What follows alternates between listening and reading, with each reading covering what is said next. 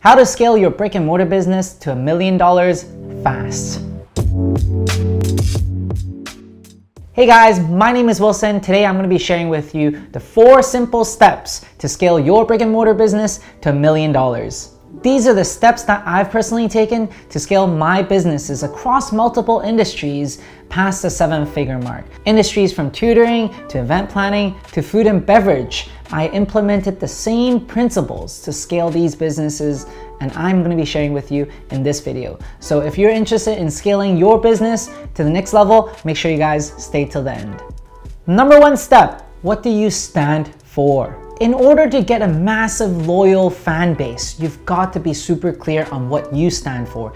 This is the reason that you provide your customers to follow you. This is the reason why they'll be rooting for your success. This is the reason why they would be loyal to your brand. You've got to be crystal clear in terms of your why and why are you creating this business and what purpose does it serve. You've got to be so clear that you're able to take a stand for what you believe in and what the values are. You cannot be vanilla. You cannot be standing in the middle um, and floating both sides. You've got to really take a stand. And at the same time, people would dislike you, but the more people that dislike you, the more loyal fans you're gonna develop. Unfortunately, there's just no money in the middle and being vanilla. For example, if you're running a poke shop, then you would choose fish that is ocean wise because you're in support of ocean sustainability. Whereas other people may be following and maybe using farmed fish, now you have a value that you hold tr so truly to you because you want to preserve the ocean for your for generations to come. And by these little actions and these values that you have, now you're able to attract people who believe in the same mission that wants to preserve the ocean for generations to really come and, and really buy into your brand and your vision. This is a very simple step that a lot of entrepreneurs skip because they're so into developing their business, because they're so into doing marketing campaigns and everything. And this very simple step is the key in bonding with your customers. So take some time and ask yourself these questions. What do you value? What is it that your business is serving? And who is it serving?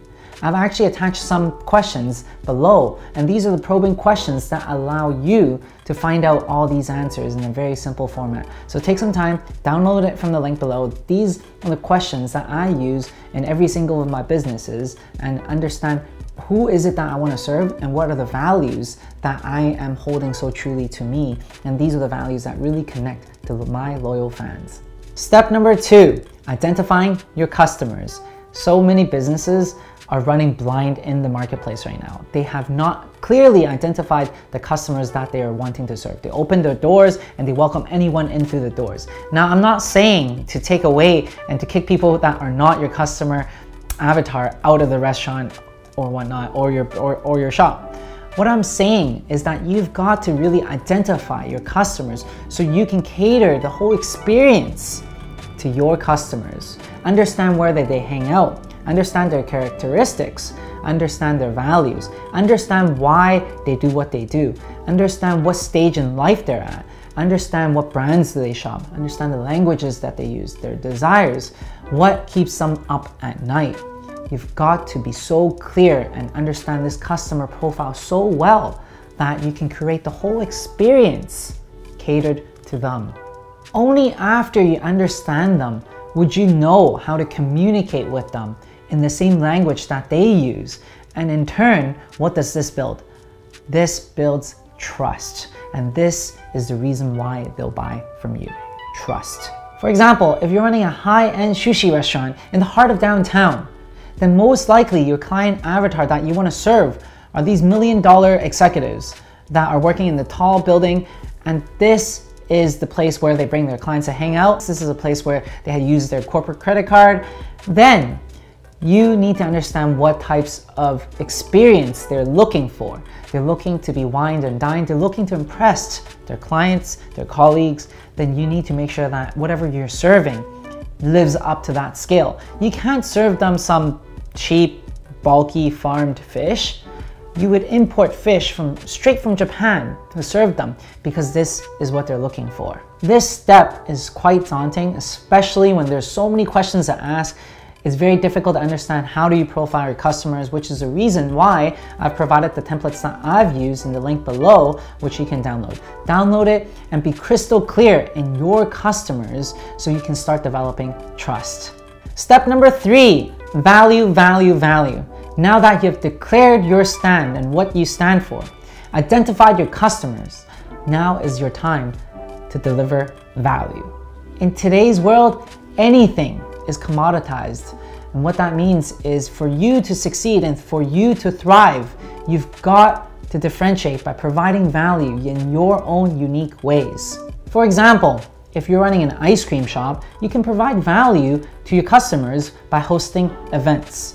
Events such as magic shows or concerts or storytelling or even by giving them balloons or by sharing stories online. Whatever you're doing, you need to understand that it is perceived as value for your customers. I know some of you might be thinking, why am I creating so much and putting in so much effort in creating these events? These are loss leaders. These are not making me money. Shouldn't I be putting my money in marketing campaigns that I can recoup money from? Well, in today's world, this is what sets you apart by providing value after value after value. This is how your loyal base of customers are being built. This is what would set you apart and allow you to and allow you to have dying fans, which would make your brand thrive in today's competitive market. A very important thing to note here is that these events are not for you to push for sales. It's not for you to convert them into, into customers, but rather this is to build the goodwill. This is where value is given. And people see right through that if you don't have that heart or that intention of building goodwill. So make sure that if you want to scale your brick and mortar business to the next level, this is a step that we cannot skip and neglect. We need to be able to build the goodwill because in the next step, that's when we convert them. That's when we convert them into long-term paying customers. Way too many people go for the kill right away. They ask for the sale right away without building the goodwill, without connecting with the customers, without showing customers why they're doing what they're doing. And this is the fastest way to turn your product and service into a commodity. And when your product or service is a commodity, then they can get it anywhere else in the marketplace. There's no brand loyalty. There's no stickiness to your brand. And the only way that you can be able to build the loyal base of customers is by providing the value, by connecting with them, by telling them what you stand for. This is the way to create a million dollar business. Step number four, the ACE formula. This is where the rubber hits the road. This is where things gets exciting, okay? The ACE formula is what would create your million dollar business. We have done the first step, which is align your whys. Second step, which is connect with your customer. Now is the time to explode in revenue. I'm gonna break this down into three simple steps for you. The first step is to create an event promoting one service or one product. Keep in mind, in this step, it is so important for you to create an event and promote only one service or product and not multiple. Because if your messaging is not clear, if people are confused, if people don't get the message right away, they will not buy. They will be deterred away from your brand because they don't understand what is going on. Depending on your promotion and, your campaign, you can extend this event into a two week event or a one week event. Really depends on the budget that you have and what you're trying to do. The second step is to provide a reason for your fans to come. This reason could be something exclusive. This could be a spin-off of existing services or products that you have. Regardless of whatever it is, just provide a reason for people to come. People love to go to events and people love things that are exclusive. So make it special for your customers and make it a reason for them to come to your event. Step number three, market the heck out of it two weeks prior to the event. Whether it be Facebook ads, flyers, IG ads, doesn't matter what it is, just market the heck out of it wherever your customers are hanging out. If they're hanging out at the gym, then give out flyers at the gym. If they're hanging out online and they're always in forums, then market it in the forums. Regardless of wherever it is, market the heck out of it at where all your customers are hanging out two weeks prior to the event. To give you an example, with our dessert chain 720 Sweets, this Christmas we launched a Christmas event featuring exclusive flavors such as our reindeer flavor and our Christmas tree flavor, specifically for the Christmas.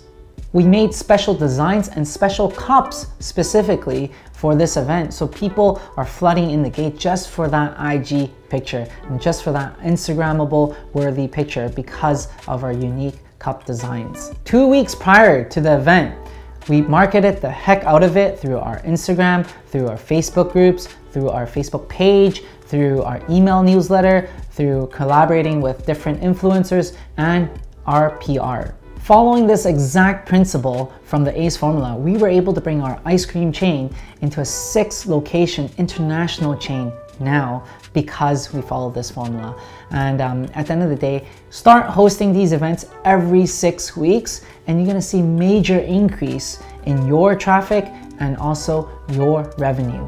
As a recap, the four steps to scale your brick and mortar business into a million dollar business. Step number one, Declare your why. Understand what you stand for. Step number two, identify your customers. Be crystal clear on what they like, what, what they don't like. Step number three, provide value, value, and value. Step number four, the ACE formula. Align, connect, and explode in revenue. These four steps are crucial in scaling your brick and mortar business to the next level. So many businesses out there fail because they fail to align and connect with their customers first. They jump right into creating these events, these marketing, these promotions, and these advertisements, yet they don't have a loyal base of customers because they fail to align and connect. Make sure you follow these steps from step one to step four. Do not skip right ahead into creating events for your customers because there's no traction, because you cannot develop your loyal base of customers. Make sure you follow these steps. As promised from the beginning of the video, I have attached the templates that I personally use so then you can start creating traction and so you can create your loyal base of customers. Download them from the link below, use it so then that way you can start scaling your business to the million dollar mark. Comment below if you have any questions, I'd love to help. If not, smash the like button so you can show some support and also subscribe along the journey. I'll see you guys in the next week.